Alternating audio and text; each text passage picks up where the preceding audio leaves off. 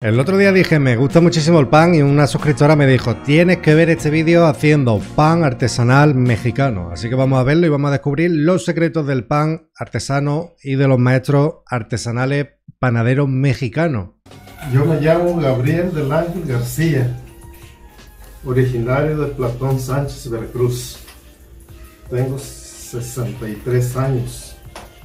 Yo me llamo Gabriel del Ángel Cruz, igualmente vengo de Platón Sánchez de la Cruz. Don Gabriel inicia su día junto con sus dos hijos, preparando Vale. la masa con la que harán los distintos panes en el transcurso del día. Esa es la masa para todo el día, ¿no?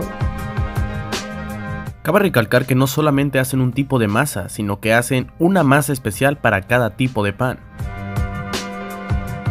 Vale. ¿A qué hora despierta más o menos los tres para comenzar con su rutina? Mi abuelo o bisabuelo era panadero y trabajaban, vivían de noche.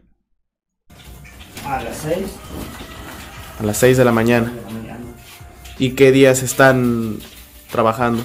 de lunes a sábado. Lunes a sábado, todos los días a las 6 de la mañana. Así es, joven. Aquí el pan por la noche lo que hacen es eh, de madrugada, a las 3 de la mañana por ahí, empieza a hacer la masa y a las 6 empieza a venderla ya. Digamos que esto se hace y a las 6 y pico, cuando ya empieza la gente a trabajar, es que tiene ya el pan preparado y va vendiendo. Algo que caracteriza a la panadería Los Tres Hermanos es que su pan tiene un sabor muy muy rico. Y esto se debe a que le ponen queso incluso a la masa ¿Cómo? para que agarre más sabor. ¿Qué? Esto tengo que probarlo. ¿Desde qué tiempo llevan ustedes trabajando aquí? Así, haciendo pan, digamos. De 2008. Desde el 2008. ¿Y qué los inspiró a, a- a llegar a hacer lo que están haciendo el día de hoy? Pues más que nada, queríamos independizarnos. Pues éramos trabajadores de, de otras panaderías Claro. y luego pues, ya platicando decidimos poner nuestro propio negocio para, para hacer lo propio de uno y, este, y gracias a Dios pues, aquí estamos de hace 10 años ya. Es que eso está guay también, ten en cuenta que es una familia, entonces eso está guay. Tú con tu hijo trabajando sin jefe, eso está chulo. en nuestro trabajo. Yo de empleado trabajé 17 años de panadero, pero empleado. Y de ahí ellos, ellos mis hijos trabajaron también de empleados en otra panadería. Y viendo cómo están las cosas, pues ya lo sabíamos hacer. Pues este, decidimos, hicimos el esfuerzo y gracias a Dios aquí estamos. Curioso Después que de los 10 niños- años aún vendiendo. Curioso que los hijos de él también trabajen en una panadería. ¿Sabe? Que, que pudiendo elegir muchos oficios, eligieron panaderos también. Incluso más de lo que se podrían haber imaginado en ese tiempo, Pues supongo. sí, la verdad que sí, La verdad que sí, gracias a Dios. sí. Trabajo con, con mis hijos, lo hacemos y ellos lo van a, a vender. Platicando con ellos me comentaron que tienen pensado expandir sus rutas de repartición, ya que ellos no solamente venden ahí en la panadería, sino que también salen a venderlo a las casas. Pues eso es muy buena idea. Luego, además, este pan amasado a mano no es lo mismo que el industrial, ese que va con las manecillas esas amasando de forma automática. Este pan está mucho más bueno. Ya que tienen la masa, empiezan a hacer los preparativos para nada más alistar el pan. Dejan las bolitas hechas, dejan las formas del pan para simplemente dejarlas en su Tengo charola curiosidad de qué tipo de pan están haciendo. ¿Qué tipo de panes trabajan? Eso del queso, por ejemplo, a mí me ha sorprendido mucho y quiero probarlo.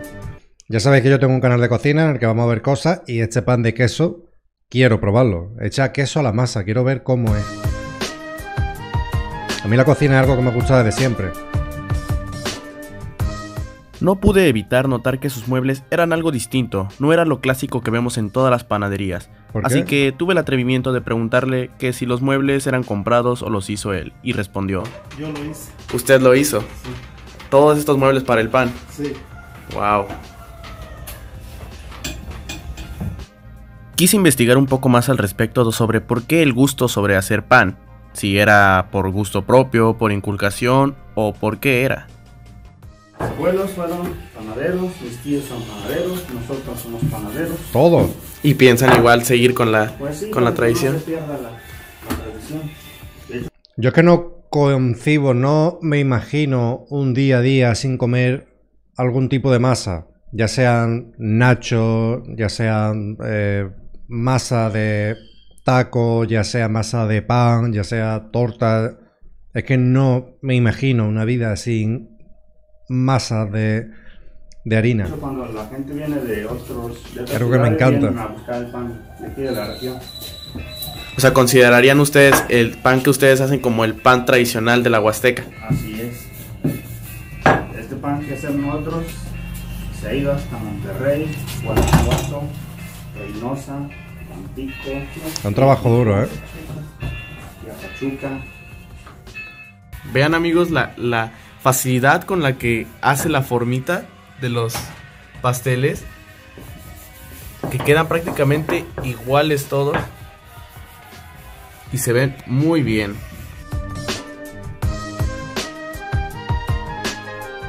Y lo va haciendo a dos manos. Hay que destacar que el ambiente de estar colaborando con ellos es muy positivo. De verdad que no dejas de sonreír todo el rato. Don Gabriel me platicó que siempre quiso mejorar la receta del pan, pero su patrón nunca lo dejó. Pero pues yo siempre le decía al patrón a veces, no, pues hay que hacerlo así. Pero pues él, es el patrón, es el que. Pero ya ahorita que nosotros empezamos nuestro negocio, hemos tratado de mejorar el, producto, que sea de calidad. Y eso es lo que la gente a veces, así como usted ahorita me está diciendo, Es que ya no solamente que ellos mejoren el producto, tú imagínate que los abuelos, los tíos, el padre, los hijos son panaderos. Tú imagínate la perfección que llevan en la masa, en, el amasado, en todo, en el tipo de horneado. varios nos han dicho.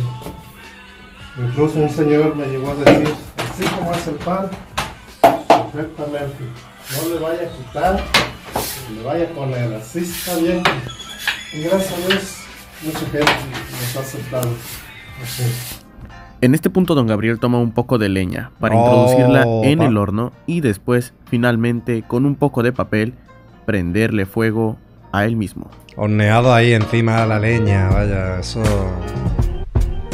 Next level.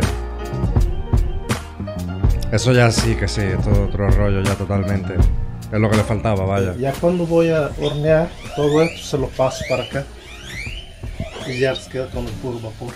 Ah, desde los 10 años que lleva trabajando, ¿tiene este o lo ha arreglado? o Ya, lo ha- ya una vez ya lo, ya, ya otro se destruyó y este es nuevo, duraron unos cuatro años. Ok. Ajá. Entonces eh, los hornos tienen un tiempo de vida igual. Sí, sí. ¿Qué tiempo aproximadamente? Pues aproximadamente yo lo calculo. El otro, pues de un principio me quedó mal, por eso pero tardó como unos 6 años. Tardó unos 15 años. 15 años. Es largo el tiempo de... Sí. Y eso ten en cuenta que este horno es fácil de hacer, ¿eh? Que es un, un horno hecho por él. de vida. Bueno, me refiero, es fácil de hacer. Fácil de hacer para quien conozca un poquito del tema de construcción y se le dé bien, ¿sabes? Dentro de lo que cabe, me refiero. No es una obra ingeniería, no te hace falta entre arquitectos para hacerlo. Y si no es indiscreción, aproximadamente cuánto le, le sale a usted más o menos armar su, su horno, en dado caso que pasen los 15 años y, y quiera hacer otro.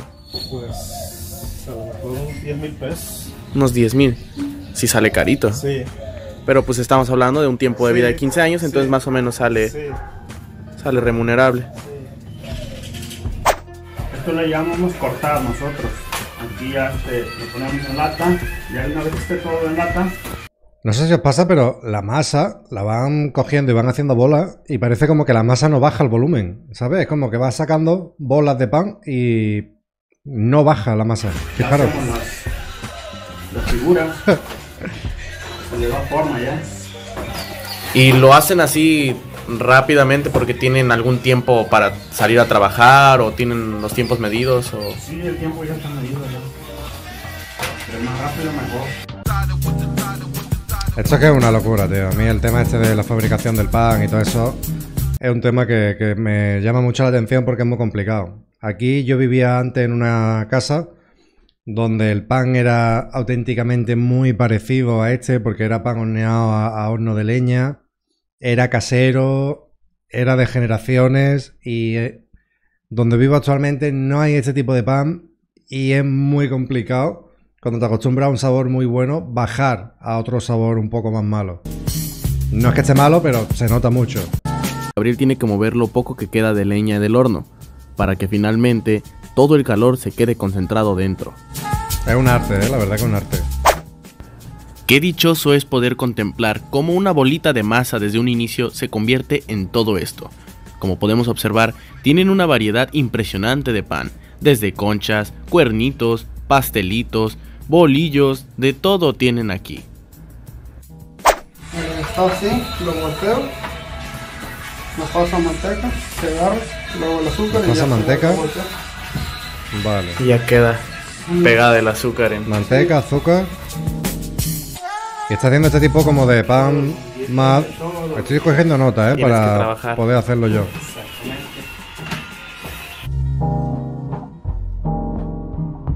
Ahí vemos que tiene los moldes, está empezando. Listos para tomar un break en su casa, que tengo que decir que es lo más agradable que he vivido en mucho tiempo. Un break en una casa de un panadero puede ser brutal lo que te puede preparar por ahí.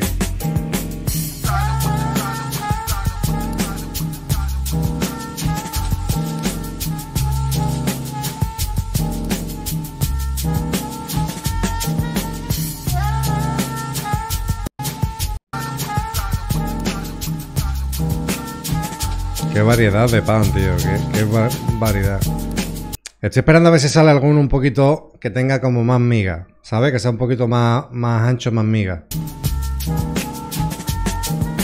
A ver cómo lo elaboran. Esto que está haciendo ahí, no sé. Para algún tipo de postre, ¿no? Que le llamamos. Son unas rebanadas. Ya Ah. después de cocido se rebana el pan. Se rebana. De los panes que hacen, consideran que estos son los únicos que sí llevan una medida. Sí. Las, las estrellas son las únicas entonces que sí llevan una La sardina Increíble, ¿eh? sardina. y la cortadilla.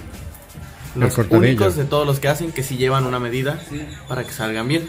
Así es. O sea, son los que llevan una media especial y fijaros cómo va a mano. También quise preguntarle qué pasa cuando, por ejemplo, llueve o el clima está mal. Cuando hay lluvia nos favorece el ¿Por? clima a nosotros. Ah, por la humedad. Cuando se vende un poquito más por la lluvia. La Más gente en prefiere. te- temporada de, de frío, cuando más este negocio se, se vende más el pan. Como ahorita que hace calor, baja la venta. Ajá, como ahorita que hace calor. La gente Pues curioso, yo pensaba que era por el tema de la humedad o algo, pero no, es porque a la gente le gusta más consumir pan cuando llueve y hace frío. prefiere entonces cuando hace frío Cuando pues un frío, cafecito sí. con su pan Se antoja más el... y pues con el calor más como que Sí, sí, baja. ya está agarrando colorcito el pan. Qué hambre. ¿Cuál tío. es la técnica para que se vea así como que de colores? De color fuerte, color clarito, color fuerte, color clarito. O sea que allí está combinado es el, el bollo de esponja que le llamamos con la cinta que te dijeron. Ah, Entonces este, este tiene azúcar, por eso se ve rojo. Y el blanco es la cinta que no tiene azúcar. y por eso de dos tonalidades. Ajá, sí. Oh. Es que un arte, tú lo ves ahí tan ¿Cuándo normal, sabe que ya está historia, listo ¿eh? el, el pan? Cuando empieza a dar color, o sea, de aquel lado, donde pega más caliente, empieza a dar color, color, lo tengo que voltear para que se cosa parejo. Porque si no lo volteo, allá se me va, se me puede quemar y acá se me va, le va a faltar. Y en dado caso que se le queme alguna charola con el pan, ¿qué es lo que le hace a ese pan? se me quema, que casi hasta ahorita no sabía que va. Pues lo, lo guardo y este, pues por ahí vemos a una persona que se le puede dar para pollos o algo. O sea, no, no se quedan sin uso, sino que Ah, igual sí, sí. alimenta a alguien. Ah, sí. Pues bueno, está bien. Una de las ventajas también que trabaje Esto es padre porque la gente ahora va a comida. ver lo que hay detrás de todo, todo el pan que llega a su casa o lo que compran. Se lo están comiendo, lo que sea, pero no saben que detrás de todo lo que están comiendo hay un esfuerzo de otra persona para que lo estén disfrutando así. Trabajando aquí no les da así como que ganas de comerse un pancito ya mientras lo preparan así como... ah. De repente. De repente sí, ¿verdad? Algo que me sorprende también muchísimo es el dominio que tiene sobre sus herramientas de trabajo, ya que como Claro. podemos observar, gira el pan de una manera que no se le cae y, y en serio, verlo en persona es una maravilla. Llevo 20 años haciendo eso, ya ves. Hasta se escucha como... como que... Sí. Finalmente, ¡Guau! después de un largo día de trabajo, todo el esfuerzo finalmente ha rendido frutos. Tío. Todo el pan está listo. Sin duda, estando ahí, oliendo y viendo todo el Este es quizá el que más me puede gustar a mí. De los que hay ahí. Este es el que más me puede gustar a mí con diferencia. pan, dan unas ganas de morder todos los panes y comer hasta morir. Joder, qué hambre, vaya. Por supuesto, no me iba a quedar con el antojo y llevé para mi casa para poder cenar, desayunar y hasta comer, ¿por qué no? Esto es una bendición, el tener un cerca de tu casa para levantarte, cenar o lo que sea y poder cada vez que tengas hambre ir a comer pan ahí. Y claro, no puede faltar una lavadita al carro antes de irse a vender, para que la gente voltee a ver el carro y diga, hmm, de ahí yo me hago. Ya preparan aquí, lo cubren con su eh, con su mantelito y le ponen un plástico encima igual, ¿no? Y finalmente ha llegado el momento de que vayan a vender su pan a las rutas establecidas. Mucha suerte. Pues bueno, vamos a proceder a, a dar veracidad del- de lo delicioso que es este A ver. pancito. No puede faltar la mordidita del pan.